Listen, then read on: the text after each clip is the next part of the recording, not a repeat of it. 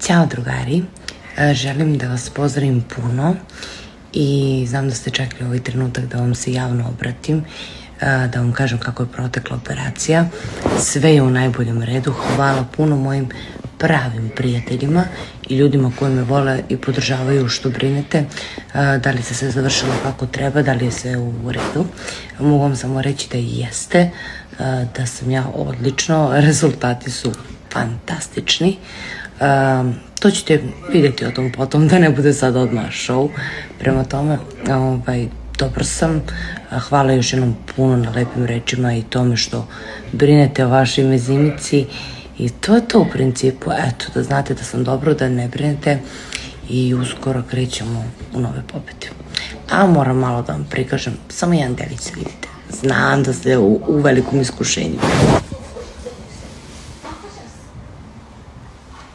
I naravno, nemojte da mi zamerite zato što sam u ovom izdanju jer ipak sam u bolnici do sutra, tako da sam još i top ovaj, kako to može da bude. Uh, volim vas i to je to. Hvala na svemu.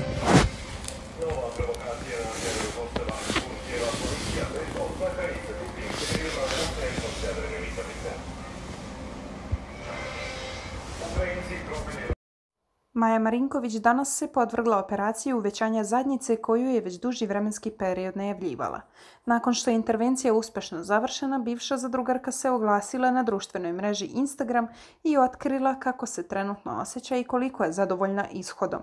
Naime, Maja se potpuno gola usnimila u bolničkom krevetu, nage grudi su bile u prvom planu da bi se u jednom trenutku na iznenađenje mnogih pojavila i sveže operisana pozadina reality zvezde.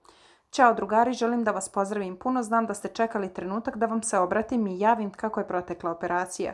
Sve je u najboljem redu, hvala puno mojim pravim prijateljima i ljudima koji me vole i podržavaju što brinete da li se sve završilo kako treba. Da li je sve u redu? Mogu vam samo reći da jeste, da sam odlična, rezultati su fantastični. To će vidjeti tek se, o tom potom. Ne bih sad ovdje pravila show. Dobro sam, uskoro krećemo u nove pobjede. Istakla je Maja. Te za kraj dodala. Naravno, nemojte molim vas da mi zamerite što sam u ovom izdanju, ipak sam u bolnici. Ja sam još i top, kako to može da bude? Kazala je reality zvezda, onda pokazala svoju novu zadnjicu.